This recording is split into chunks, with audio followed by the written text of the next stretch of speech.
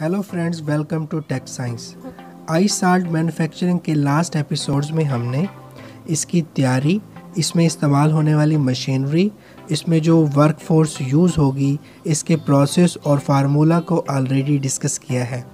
अब आज के इस एपिसोड में हमने इस साल की पैकेजिंग और पैकेजिंग मटेरियल में यूज़ होने वाले मटेरियल के कॉन्टैक्ट पर्सनस को भी हमने डिस्कस करना होगा। दोस्तों साल्ट को पैक करने के लिए अपना ब्रांड कंपनी के नेम से रजिस्टर्ड करा के पाउच प्रिंट कराने होते हैं। दोस्तों, अगर आपके पास इन्वेस्टमेंट की कमी है तो आप प्रिंटेड रेडीमेड पाउच को भी परचेज कर सकते हो। जो लोग बिगिनर हैं और उनके पास इन्वेस्टमेंट की कमी है तो मैं उन्हें यही सजेस्ट करूँगा कि वो रेडीमेड पाउचेस को ही अवेल करें। ये पाउच आपको वन के और हाफ़ के जी के साइज़ में मिल जाएँगी।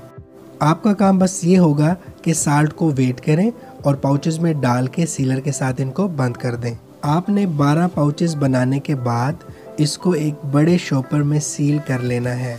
इस मकसद के लिए कार्टन को भी इस्तेमाल किया जा सकता है, लेकिन इससे भी कॉस्ट आपकी बढ़ सकती है। ये कार्टन प्रिंटेड भी होते हैं, इनकी प्रिंटिंग ऑन ऑर्डर भी कराई जाती है। लेकिन मेरा बिगनर्स के लिए यही एडवाइस है कि वो शॉपर को ही यूज़ करें। दोस्तों, अब हम अपनी वीडियो के नेक्स्ट स्टेप की तरफ़ चलते हैं।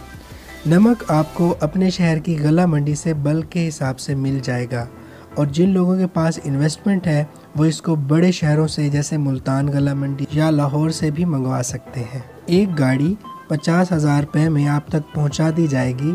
अगर आप लाहौर से या मुल्तान से 500 किलोमीटर के गिरदो नवा में रहते हो।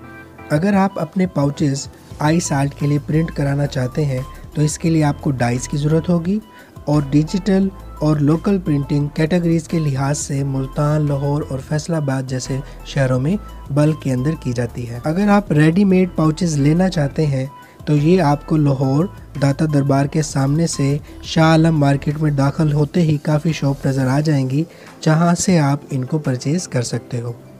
फ्रेंड्स, आई साल्ट मैन्युफैक्चरिंग के नेक्स्ट एपिसोड्स में हम इसकी कॉस्टिंग और मार्केटिंग को डिस्कस करेंगे। दोस्तों, अगर आपको मेरी वीडियो पसंद आई तो मेरे चैनल को ज़रूर सब्सक्राइब करें, वीडियो को लाइक और शेयर करना ना भूलें, और कोई भी क्वेश्चंस हो तो ज़रूर मुझे कमेंट करें। Thank you very much.